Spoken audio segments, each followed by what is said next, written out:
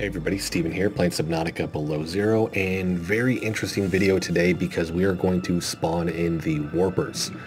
For those that remember the Warpers from the first game, they are really, really scary. They are essentially made by the precursors, and um, I'm horrible at remembering things, but if I remember correctly, they were kind of um, protectors, guardians, and they were looking for specific things. So the guardians of the precursors, but are also looking for certain things, like trying to track down stuff that they needed to create a cure. If I'm wrong on that, by the way, correct me in the comment section, because like I said, I'm horrible remembering all the small details with everything. But I was watching a video on uh, Anthomnia's, hopefully pronouncing that right, but his channel, and he found one. So I can't find any and he found his over in the glacial connection. But the cool thing is we can actually spawn them in. So I'm going to do that here in a second.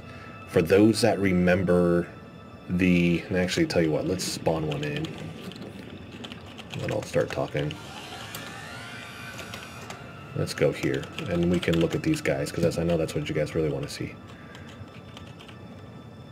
Alright. There it is. Looking better than ever, by the way, because this is an updated model as far as I can tell. But for those that remember, when the game came out in early access last January, it's essentially, it was the same game engine as the first game, right?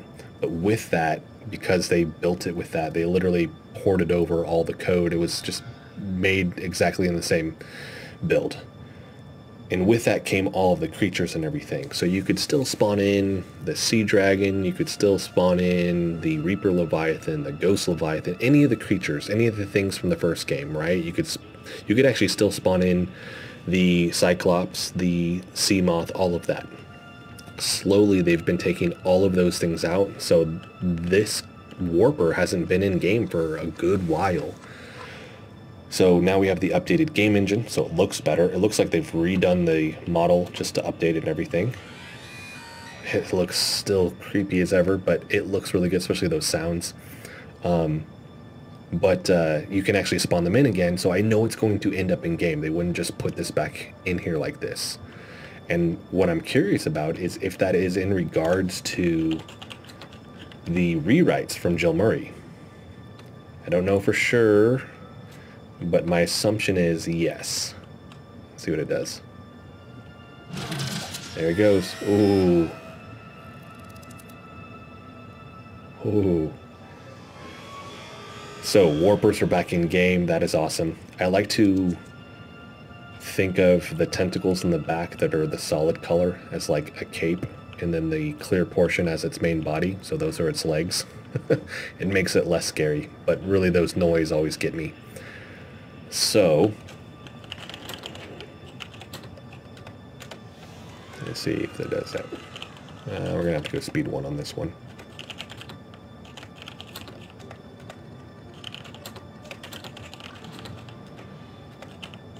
So they always just hop right out.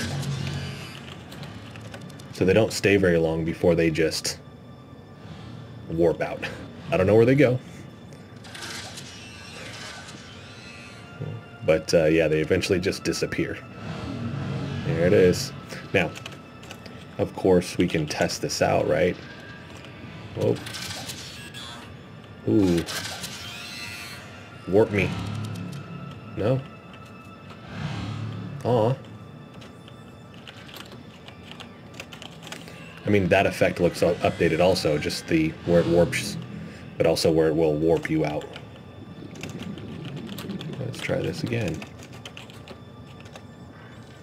Nothing? Come on, guys. There it is. Boom. Super cool. All right, so Warpers are back in game. The other thing, right here, Quantum Locker. So spawn code is literally spawn Quantum Locker. It's already in there. So once we have this, this is a prototype. This said it's a prototype on the Subnautica Changes Twitter account here. The cool thing with this is that it will share whatever's inside of it with however many of these you have. I thought this is very similar to, and I'm sure they've done it in a ton of different games, but uh, the safe in Terraria, same thing. You could have 50 safes. They all have the same contents. So it takes up four spaces and it has 16 spaces inside of it, so you gain 12. My assumption is this is going to play an important role with certain, perhaps things like ion cubes or certain very rare minerals. So that is in game. I'm assuming the look of this is going to change, by the way. So remember, this is just a prototype. So that is in, well actually, can't even say it's in game. It's in the code, it's not in game right now. You have to spawn it. So spawn quantum locker. So there it is right there. Oh, and other thing, by the way, I didn't do this, even though you can. You can scan the warper. That's the other thing that leads me to believe that, yeah, this 100% for sure is going to be in there. They wouldn't add this back in here if it wasn't. So warper, and then it tells you everything. So further research required. Very, very cool. Hopefully we get more details from Alan on these guys. And it hasn't been implemented in-game yet. Like I said, Anthomnia found it, I haven't, so I don't want to 100% say that but uh, I have not been able to find them. But if you guys have, definitely let me know in the comment section.